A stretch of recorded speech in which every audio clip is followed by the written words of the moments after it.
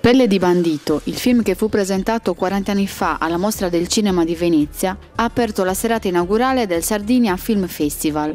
Presenti alla serata il regista Piero Olivi e la protagonista Mavi Baldanzello, che hanno ricordato alcuni momenti della realizzazione del film.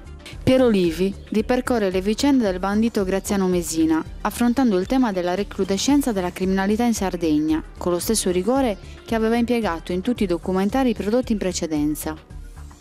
Il film è stato introdotto dal giornalista Bruno Merella, che ha ricostruito il contesto storico-sociale della Sardegna degli anni 60, focalizzando la sua attenzione tra Stato e malavita barbaricina. Era l'epoca delle irruzioni nel paese, si facevano perquisizioni di massa, si buttavano fuori le famiglie, si svuotavano le case. Era un periodo terribile. Ecco, nel 69